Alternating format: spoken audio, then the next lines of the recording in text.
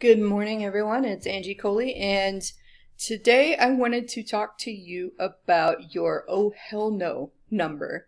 So I think a lot of people, when they first start freelancing, they they kind of shoot themselves in the foot without meaning to, because they look around. There's a lot of great resources out there that tell you about what prices you should set, how much things should cost, and and I understand setting yourself up to be what feels like competitive, but know that when people are setting prices, they're doing the same research as you. So it can be kind of a self fulfilling prophecy where everybody is looking for inspiration and looking at everybody else around them and seeing what they're doing.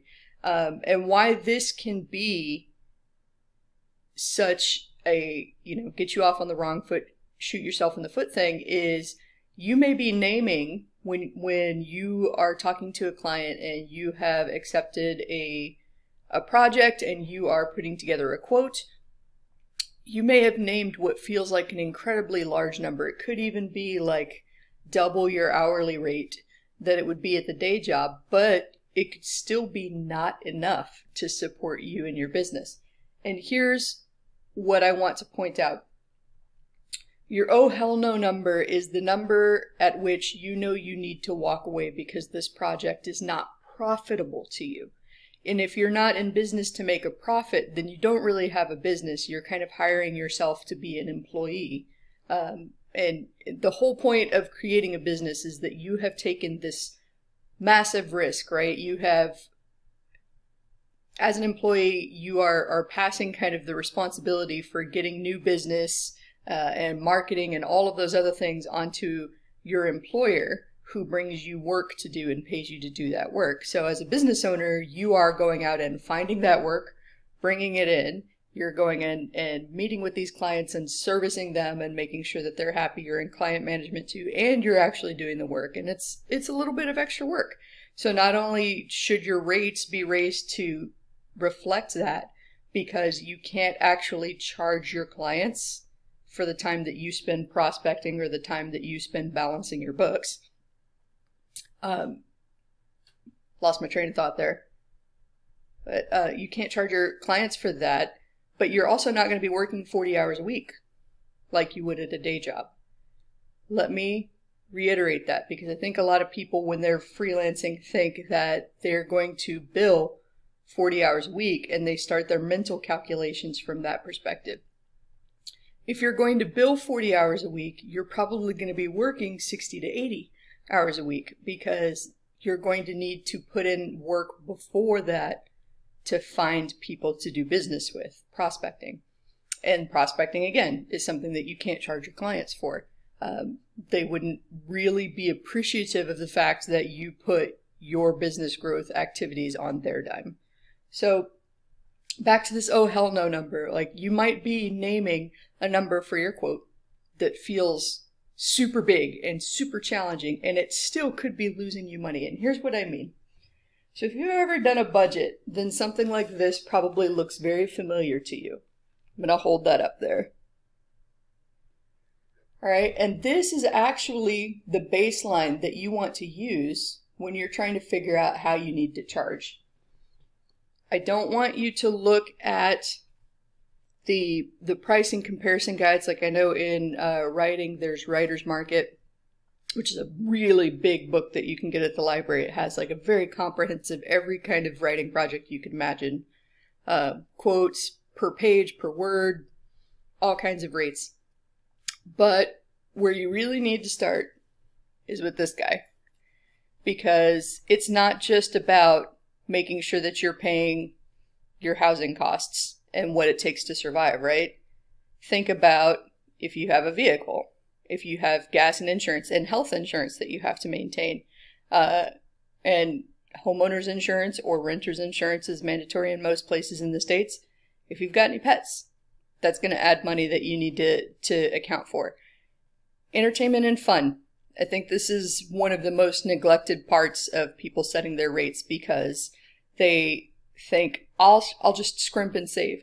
The whole point again of starting a business is to make you the money that gives you the freedom to do what you want to do to, to run your life the way you want to run it. Uh, and so in any budget, any competent financial advisor will advise you to make sure that you are accounting as long as you are not in dire financial straits. Account for fun. You're going to want to have fun. You're not going to want to sit your ass, like, and trust it. Take it from a workaholic. I am a workaholic. Work sometimes defines my life, and I have to fight really hard against that instinct because I love the work I do, so I want to do it all the time. I like going to $5 movie Tuesdays and buying myself a big old bucket of popcorn.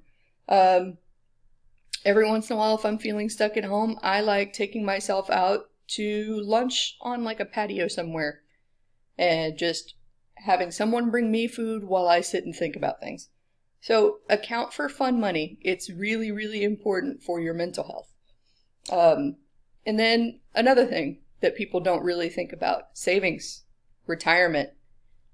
Note this guy down here at the bottom, the FU fund. You're going to hear me preaching about that for a long time if you stick with me. Um, the FU fund is the funds that gives you the freedom to walk away from any client in the event that it has become too burdensome, they're taking up too much of your time, they've become abusive. That that happens. People are people. They have things that are going on in their own lives. It doesn't always necessarily mean that you suck. It's a lot of the times it's just stuff that's going on with them. But if you are not approaching business thinking about what you need to make, this oh hell no number, and putting enough in savings that allows you to walk away from any project that is bringing you down and is stifling your business and your creativity, then you're setting yourself up to fail. And know that this is a process over time, right?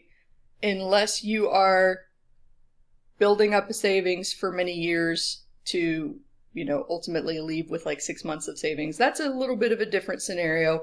And that, that gives you a little bit more runway. But for some people like myself, I found myself laid off and having to figure out this writing thing as I went along.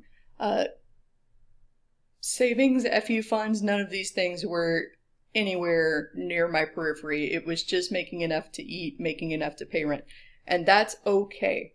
Just remember that once your basic needs are taken care of, it's time to shift up to the very next step, which is getting security, stability, and then from that, leveraging that into freedom and more income. So this is going to be a step by step. If you are not at this step, don't freak out yet. So your oh hell no number is a monthly number that is based on what you need to make, what you want to make. Don't be afraid to set ambitious targets. If you want to put $500 in retirement a month, put that in your oh hell no number uh, and make sure that you're accounting for that because unless you think about it, you're going to forget about it when you're setting these quotes. So when you add all of those numbers up that I showed you in that little list, you're going to get a monthly number.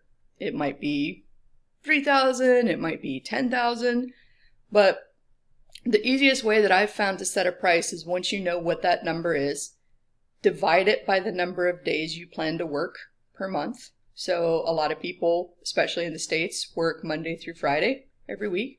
So that's roughly 20 working days per month.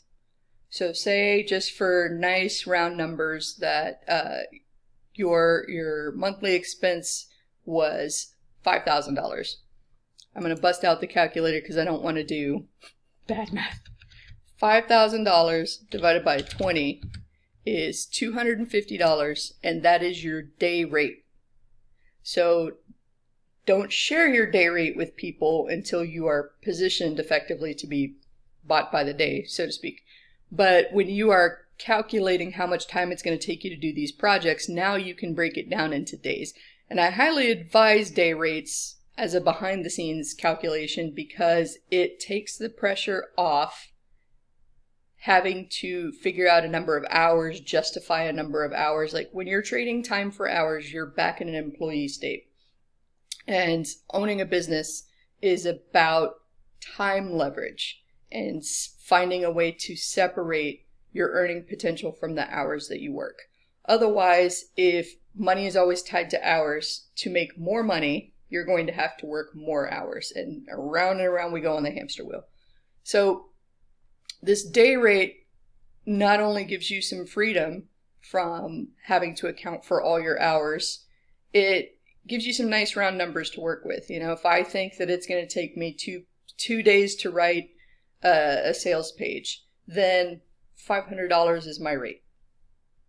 Nice, easy. It doesn't require me to sit at the computer for eight hours a day to justify that two hundred and fifty dollars per day. Do you get what I say? What I'm saying here?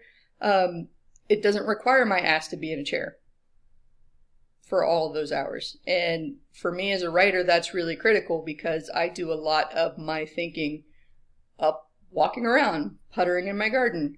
I can't tell you how many times my boyfriend has seen me just sitting on the couch with uh, an expression probably a lot like this.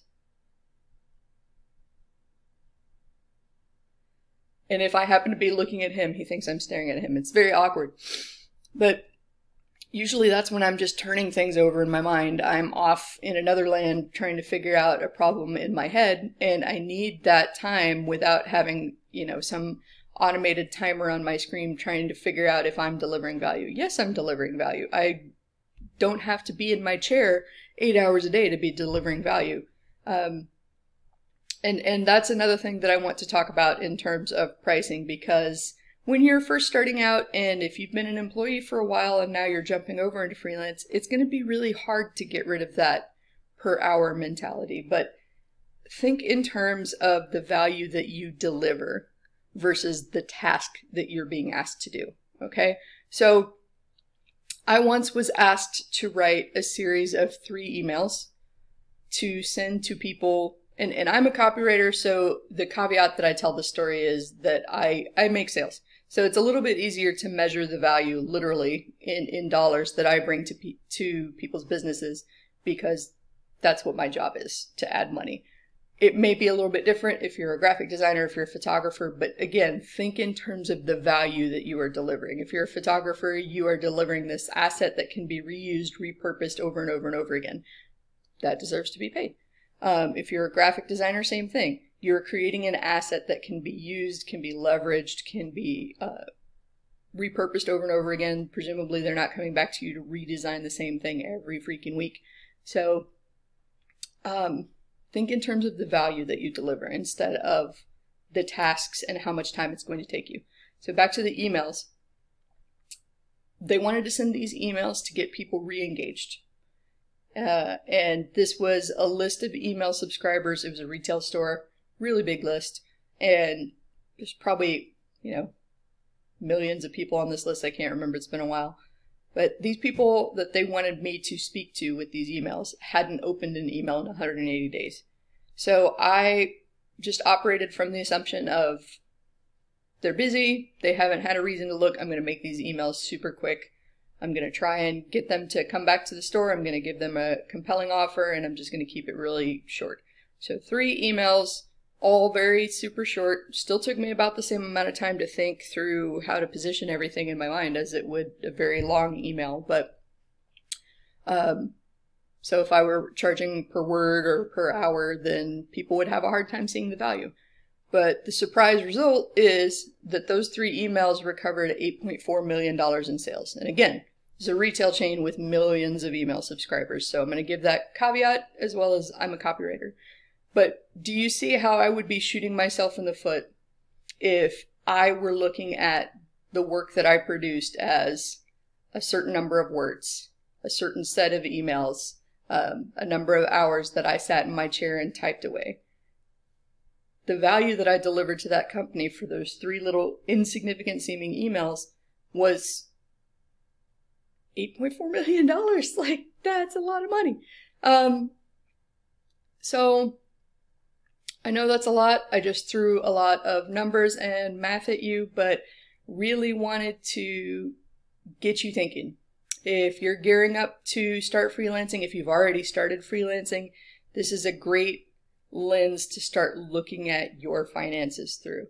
And and the great thing is that if you come to somebody going back to our earlier day rate math and you say, "Okay, you know, my fee for doing this sales page for you is $500 and they go, "Oh, we were thinking 300."